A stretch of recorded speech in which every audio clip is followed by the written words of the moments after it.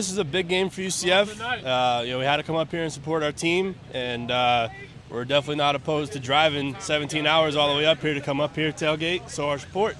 I think they're very surprised. We've been all over um, Columbus, all over the university.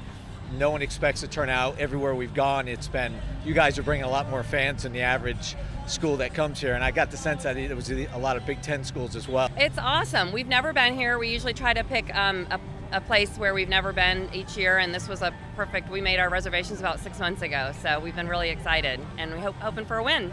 It's nice to get to you know a big stadium where you know they have the big town football atmosphere here and it, it's, it's just a great experience once we saw it on the schedule come out we were like we have to go this was one of the ones that we marked on our schedule that we have to come i mean you know it's it's within driving distance um, you know a big time school like this big time game uh, it's something we definitely wanted to experience, and we definitely wanted to watch my brother experience and the whole UCF team experience. Gabbert throws towards the end zone. His pass is going to be caught. Is it a touchdown? Yeah. I was not at the game, but we all watched it at my house, and we were all really proud of him. And uh, to see the team come together and put up some big points on the board, it was, it was really nice. Seeing them play smaller schools is fun and all, but to actually up the ante and play teams that are great it's a challenge. So, you know, we're only going to get better by playing schools like this. Southern Knight fans, this is Brent Harvey. Come out September 15 as we take on FIU and pack Bright House Stadium.